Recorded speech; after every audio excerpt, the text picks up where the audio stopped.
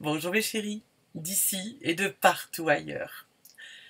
Aujourd'hui, la vedette, c'est Cassie.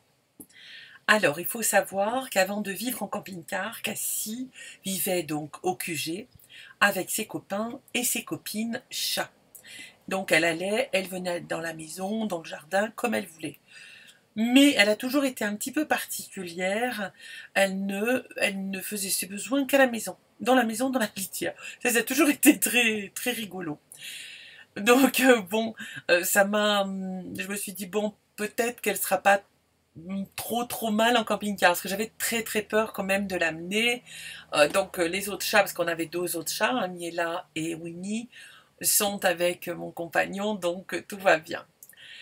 Donc Cassie, elle, je m'en suis occupée à fond, à fond. Pendant que moi je faisais mon check-up de santé, et eh ben elle, elle faisait aussi sa santé de fond en comble avec tous les vaccins inimaginables. Ça a duré quand même pas mal de temps, mais maintenant elle est détentrice de son passeport européen. Donc Cassie peut aller de partout. En Finlande et en Angleterre, faudra un petit rappel anti-rabique. C'est tout. Ou sinon, elle a tout, euh, ses formalités, elle est impeccable. Dès que Coquelicot est arrivé à la maison, donc c'est-à-dire le 30 mars, Cassie a été très investie. Et maintenant, ça a bien évolué, l'installation de Cassie dans le camping-car et dans sa nouvelle vie. En fait, Cassie, elle s'est tout de suite investie hein, dans Coquelicot. Alors tout d'abord, elle a reniflé mais chaque centimètre carré du camping-car même quand c'était le bazar que j'aménageais, là c'est le gros bazar, il y avait la première litière que j'avais prise, euh, voilà, c'est le souk, et eh ben j'avais Cassie dans les pattes partout qui reniflait de partout. Ah ben oui oui oui hein, même euh, la soute, il a fallu qu'elle regarde et je vous garantis que même si elle ne fait même pas 4 kilos, on peut pas trop l'empêcher de tout visiter, tout regarder.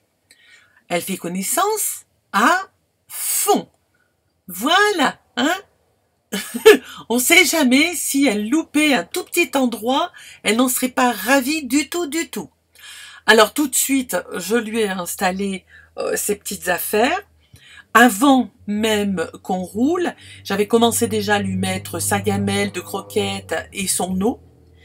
Et sous euh, la petite banquette, je lui ai installé sa litière. Comme ça, là, elle avait tout de suite pris des repères et je n'ai rien changé depuis qu'on roule. Donc oui, c'est pas très éloigné euh, la litière de sa gamelle de nourriture, mais bon, dans un camping-car, c'est pas une maison, on peut pas les mettre d'une pièce à l'autre, hein, ça c'est pas possible. Hein. Mais elle s'adapte, hein, elle aime bien. Bon, je lui mets euh, de toute façon quand je roule pas une petite euh, gamelle. Voilà, ça c'est le plan de travail et elle adore, mais vraiment, elle adore être à cette fenêtre là, même si elle fait régulièrement le tour de toutes les fenêtres. Elle aime bien être là. Là, voilà, tu vois, je lui mets une petite gamelle d'eau aussi pour dire qu'elle est son petit rafraîchissement un peu ailleurs qu'à côté de ses croquettes par terre. Et elle y va. Tu peux bien nous montrer, s'il te plaît, Cassie? Comment tu vas boire dans ton petit bar là sur le plan de travail? Dis Cassie, tu veux bien? Euh ouais, ouais, non. Une tentative Ah merci. Merci Cassie de nous faire voir comment tu vas boire sur le plan de travail. Voilà son petit bar. Rien que pour elle. Là, elle avait bien soif. Ouais, ouais, ouais. Là, un autre point de regard, on va dire, sur l'extérieur. On le pare-brise est fermé, ça, ça la gêne pas. Parce que quand il y a trop de vis-à-vis, des fois, j'aime bien laisser fermer. Et puis, les moments les plus difficiles, ça a été, voilà, la mettre avec le harnais, la laisse. Alors, je laissais bien pendant, je parle au passé, parce que heureusement, maintenant, ça a évolué, c'est pas agréable pour elle mais je t'assure, c'est pas agréable non plus pour moi. Mais j'ai tellement, tellement peur de la perdre, j'ai tellement peur des voitures lui fassent du mal ou autre. C'était pas agréable du tout. et je, je pouvais pas durer trop trop longtemps comme ça. Voilà, pour moi, c'est antinaturel que de voir un chat avec un harnais et une laisse. Alors bien sûr, ça la protège, etc., etc., mais ça fait quand même, ça fait quand même mal au cœur, quoi. Je sais pas toi, mais moi, ça me fait très très très mal au cœur. Heureusement, ça y est, maintenant les habitudes sont prises, vraiment. Déjà aussi, je ne la mets pas euh, dans une caisse, une boîte ou je sais pas quoi quand je roule. Elle a pris ses petites marques, c'est-à-dire que dès que je roule, elle fonce, elle court, elle trotte au-dessus de la cabine de conduite, puisqu'il y a un lit, voilà, dépliant, euh, qui s'abaisse. Moi, j'ai enlevé le matelas parce que je n'en ai pas besoin. Et dès que ça, dès que ça roule, ou si vraiment elle a envie d'avoir la paix, elle va au-dessus de la cabine, elle a vraiment sa tranquillité. D'ailleurs, comme tu vois là maintenant, elle est, elle a plus la laisse, elle a plus le harnais. Dès qu'elle a peur, j'attendais ça avec impatience.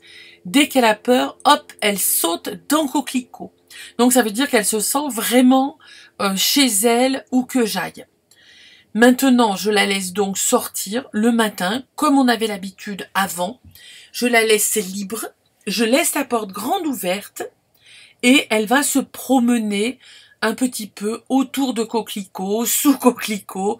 Elle va aussi sous Foxy parce que bien sûr les deux camping-cars ne sont jamais loin l'un de l'autre et ça l'habitue quand même à une liberté. Elle sait que son repère, c'est le camping-car. Et là, franchement, je sais pas comment ça va se passer dans l'avenir, mais moi, je suis vraiment, mais super, super contente de son attitude et je la sens beaucoup plus épanouie. En gros, je la fais sortir deux fois dans la journée, une fois le matin, comme elle avait l'habitude quand, quand on était au QG, et une fois dans l'après-midi vers euh, ça dépend à c'est elle qui demande hein, vers 16h30 17h 17h30 elle demande à sortir donc je la laisse sortir voilà et ce que j'aime bien avec euh, euh, Cassie c'est qu'elle m'obéit c'est-à-dire quand je lui dis viens en général elle obéit pas aussi réactivement qu'un chien mais au bout d'une ou deux minutes j'entends roucouler et elle vient vers moi donc ça y est, madame a ses jeux. Là, elle m'aidait vraiment d'une façon intensive avec euh, les rideaux de fil sur lesquels je mettais des perles. Elle aimait beaucoup ça, voilà. Bon, ça l'a pas beaucoup amusé parce que je voulais pas vraiment qu'elle s'amuse. Hein. Bon. Mais maintenant, elle est chez elle, voilà. Elle va, elle vient. Moi, en tout cas, je sens qu'elle s'est totalement appropriée euh, Coquelicot.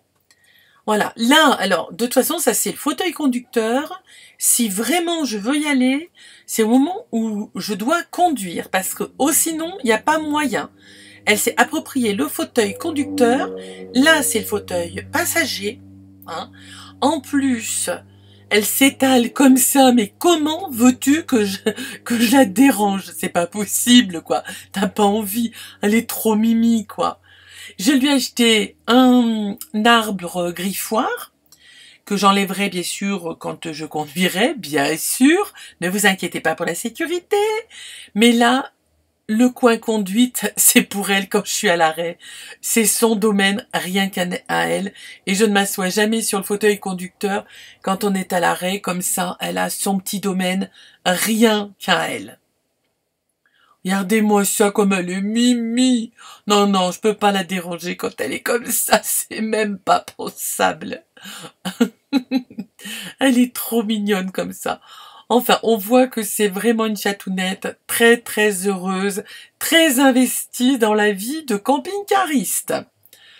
Mes chéris, il me reste à vous dire, voilà un chat heureux, je vous souhaite plein, plein, plein de belles choses. Et si vous avez un chat en camping-car, ça me ferait plaisir aussi que vous partagiez comment euh, ça se passe euh, avec votre matou. Je vous fais plein, plein de gros bisous. Bye bye